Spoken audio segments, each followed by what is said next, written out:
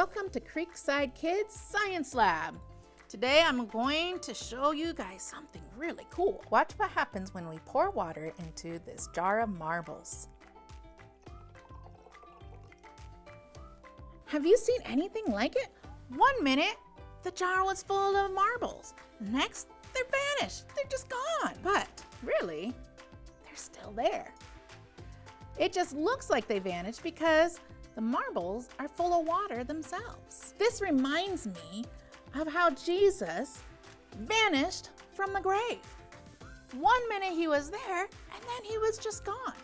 But unlike these marbles who are still here, Jesus is not in the grave. If you were to go to the tomb where Jesus was buried, you wouldn't see him there. That's because he's not there. He's alive. And Easter is how we celebrate Jesus rose from the dead and is alive now. And if you put your faith in Jesus Christ, then you can have eternal life too. Today's experiment is a simple trick of science that reminds us of a true story so unbelievable, so amazing, so stupendous that it defies any explanation of science. Today you learned that if you pour water over jelly marbles, they appear to disappear. Now they don't really disappear. The jelly marbles were there the whole time, but the jelly marbles refract light the same way as the water around it, and that causes the jelly marbles to appear to vanish. Today we also celebrate a day 2,000 years ago when some men and women went to a tomb to pay their respects for a man who had just died. And what did they find there? Vanished. The tomb was empty. But it didn't just appear to be empty the way the glass appeared to be empty. The tomb really was empty because Jesus, the man who had died, really had risen from the dead. You see, God loved the world so much that even though we were sinners, He sent Jesus, who willingly died on the cross. He took the punishment for our sins and then he was buried in a tomb. Three days later, something incredible happened.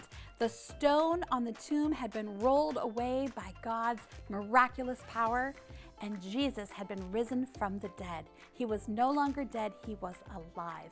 It was a miracle because dead people stay dead. That's science.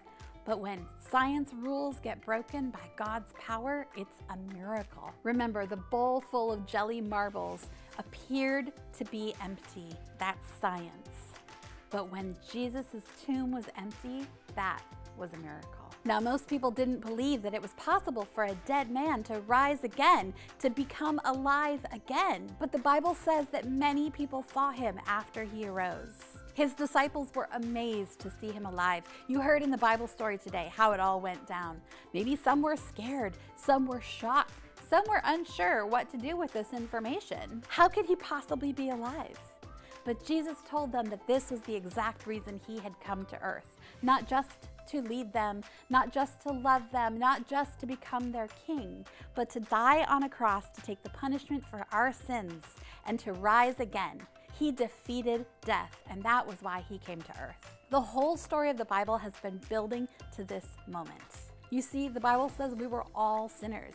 We've all done wrong things, things that hurt God and hurt other people too. And we are too imperfect, we are too sinful to save ourselves. So God sent his only son into the world as a human to save us. John 3:16 says it this way: "For this is how God loved the world. He gave his one and only Son, so that everyone who believes in him will not perish, but have eternal life. Jesus died so that you could have forgiveness for your sins. Not only do we receive forgiveness, but we get to have a new life that begins right away.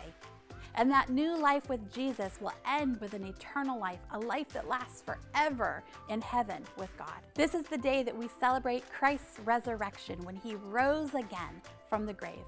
If you've never prayed and asked Jesus for his forgiveness for your sins, this is a great day to do it. Because Jesus lives, we can have eternal life.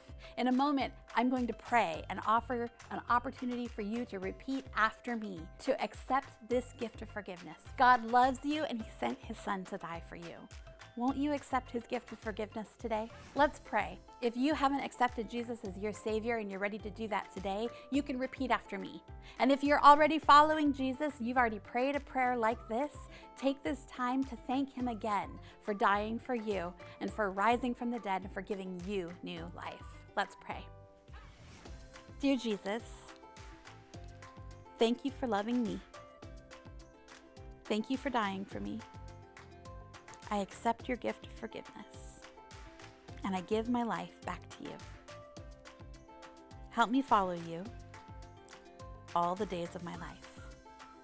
Amen. If you prayed this prayer today, there's a grown up in your life who would be really excited to hear about it. It might be your parent or it might be a leader at church, but make sure that you let somebody know because they're going to want to celebrate with you. And we're really excited that you're making this choice. But right now, let's pause and pray. I'm going to put something up on the screen and challenge you to take a few moments to talk to Jesus. Take a moment to tell Jesus how thankful you are that He died for you. You could thank Him for giving you a fresh start, helping you live God's way, the promise of living forever with Him, or anything you can think of.